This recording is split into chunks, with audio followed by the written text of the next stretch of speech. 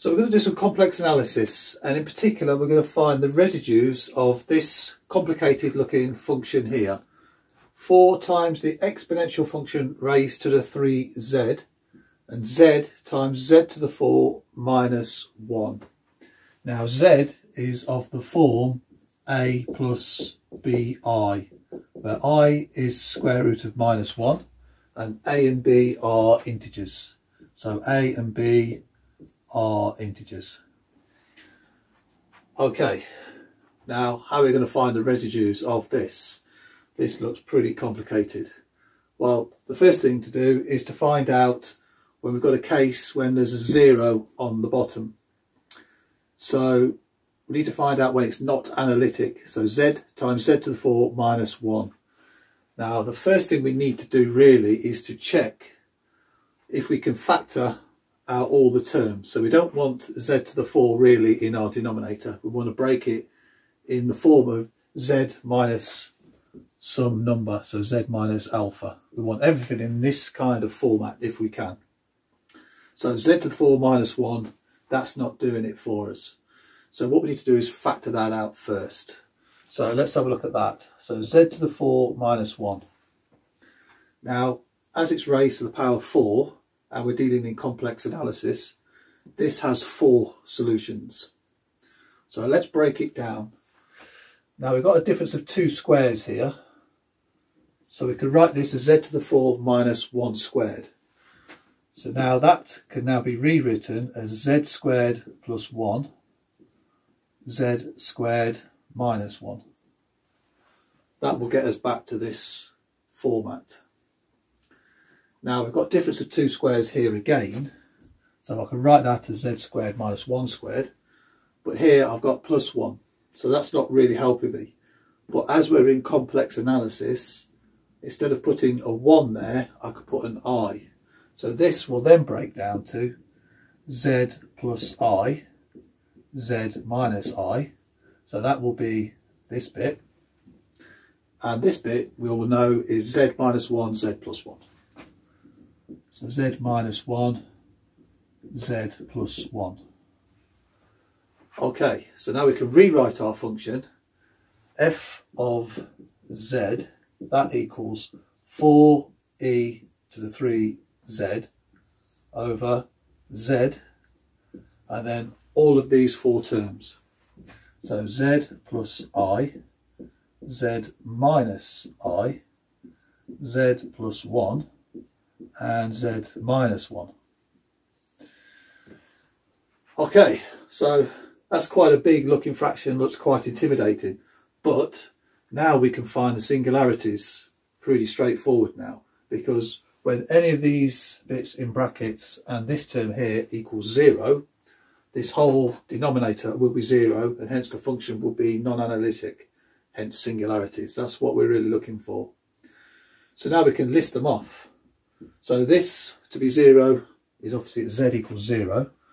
So I'm going to write my poles here. So I've got z equals 0. For this one to become 0, I need z to be minus i. For this one, z to be positive i. So I'm going to put plus or minus i. And the same here, z is plus or minus 1. So that's my five poles. So there we go, five poles. And the definition of these five poles is they're all simple. So there's no, none of these are raised to a power or anything like that. Otherwise they'd be of an order of something. But these are just simple poles. So I'm going to write here simple. So they're all simple poles. Right, okay. So now let's bring this function up to the top and let's start finding our residues one at a time at each of these points. Okay, so now we've got our function written up here. So let's start with at z equals 0. So our goal at this part of our question is find the residue at 0. So now what happens here? What we do is we plug in z equals 0 and then take out this term that gives us that particular 0. So basically what we want now is the residue of f at 0 equals the limit as z approaches 0 of our function. So now what I'm going to do is I'm going to plug in 0 for all of these terms except for this one and that will give me the value of my residue. So 4e to the 3z. So that will give me 4e to the 3 times 0. Then I don't want this term here, I just want the rest of these terms. So almost just rewriting the function with that particular term missing. So now I've got 0 plus i, 0 minus i, 0 plus 1, and 0 minus 1. Okay, let's just break these down inside here. So I've basically just got i times minus i, and I've got 1 times minus 1. So I have to multiply together these two terms here. That'd be a nice start. So now I've got minus 1. And then i times i gives me i squared, which is minus 1. But minus 1 times a minus, that's going to give me positive 1. So now I've got 4e to the 3 times 0 divided by minus 1. So that will break down, well, e to the 0 is just 1. So now I've got 4 in my numerator and minus 1 in my denominator. So I'm just going to write that, that as 1 and bring my minus sign up to here. So therefore my residue at 0 is minus 4. And that's how we worked it out at 0. Now let's have a look at the, uh, let's do the, do the real numbers. Let's do plus 1 first. Okay, so now let's go for the residue of f at plus 1.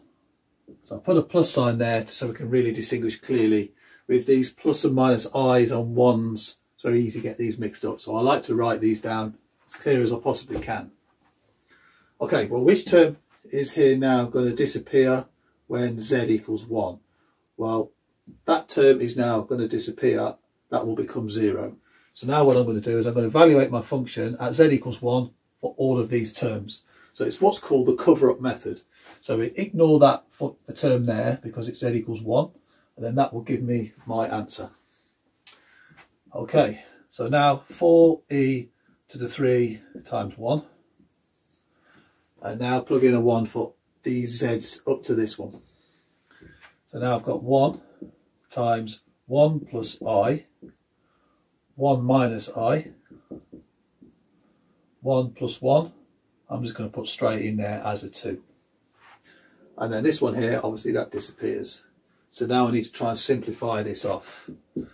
So 4e to the 3. That's the numerator. That's pretty straightforward. 1 times 2. That's 2. That's straightforward. Now 1 plus i, 1 minus i. Let's just have a quick look at that. 1 plus i, 1 minus i. Now this one here could be taken as the difference of two squares. So plus and minus in our brackets here. So instead of foiling them all out, I can see that straight away. So now all I'll do is take the first terms and the last terms, multiply them together, and see what my result is. So 1 times 1, obviously it's 1. Then plus i times minus i, we worked that out previously, that was positive 1. So I've now got 1 plus 1 obviously that's 2. So now I've got 4e to the 3 divided by 2 times these two terms, which will give me a, another 2. So that then gives me 4e to the 3 over 4. These 4s are going to cancel out. So that means my residue at positive 1 is e to the 3. Okay, now let's have a look at minus i. Okay, residue at f comma minus 1. Okay, so now which term is going to disappear when z is minus 1? Well, this one will be the 0. So I'm now going to cover this one up and calculate my function with all the other terms. So then this will equal 4 times e to the 3 times my minus 1, because that's what I need for my z. And then here in my denominator, my z is minus 1. And then I've got minus 1 plus i. Minus 1 minus i. So straight away we're looking at the difference of two squares here for our calculation. That's the term that disappears, that's what we're covering up. And then minus 1 minus 1. Okay. Right, let's simplify this off.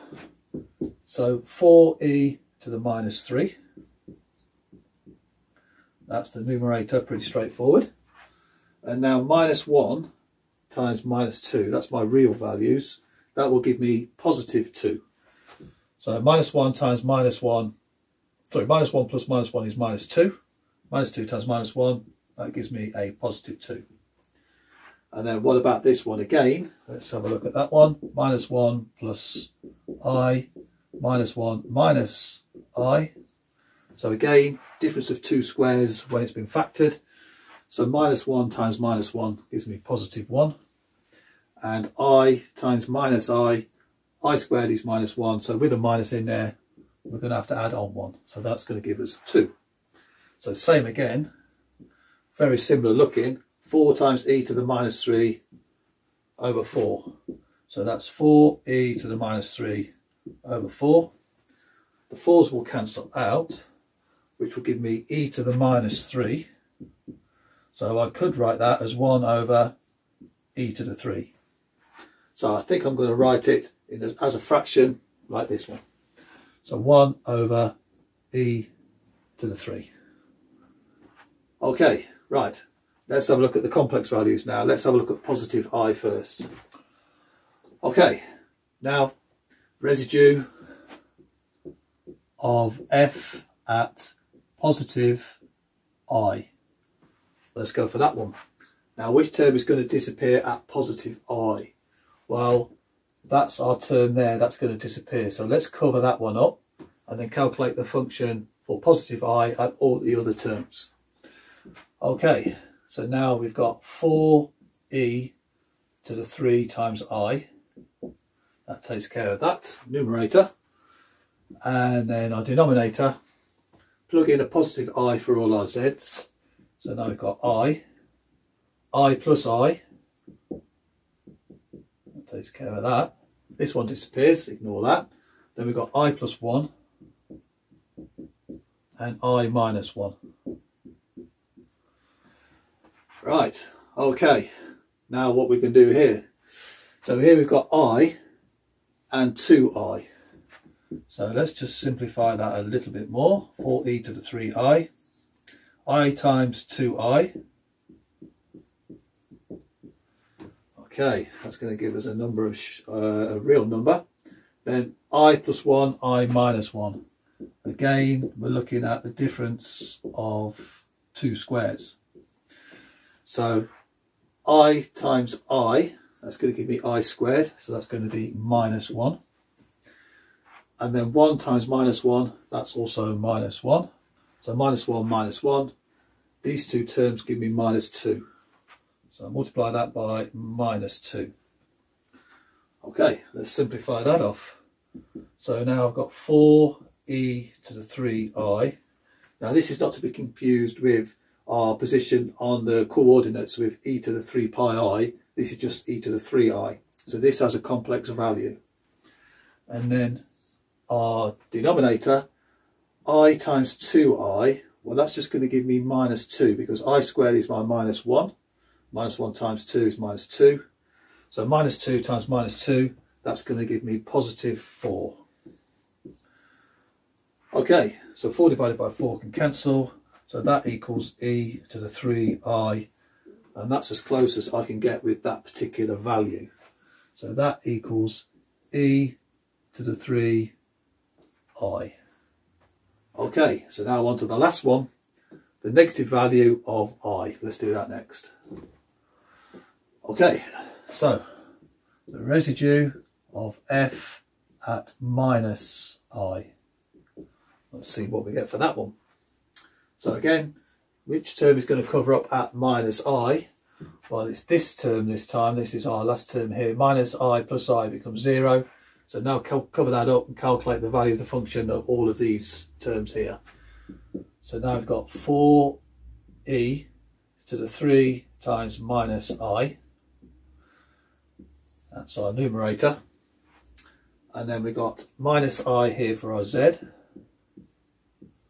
This one disappears. Minus i minus i. Let's go straight in there with a minus 2i. And then here, minus i plus 1. And minus i minus 1. Okay. Just be careful to take your time to write in the correct values all of these. It's very easy to get confused when you're trying to rush. So now simplify off 4e to the minus 3i. And then here minus i times minus 2i. Well the two minuses we're going to lose so they would cancel out. i times i is minus 1 and then times that by 2 we're left with minus 2. And then this one again, difference of two squares. So i times i is minus 1. And then the two minuses, we'll leave that at minus 1. And then here, plus 1 times minus 1 is minus 1. So that would also be minus 2. So now we're going to be left again in our denominator with a positive 4. So that equals 4e to the minus 3i over 4. These cancel out. Now e to the minus 3i. So we, as we did before, we could turn that as a fraction. So 1 over 3i. That's our solution for our residue at minus 1. So 1 over, sorry, that's e. Don't forget to write that e. e to the 3i. Okay, so that is all of my residues, all five of them, for this complicated looking function here, 4e to the 3z with z times z to the 4 minus 1 in the denominator. Okay.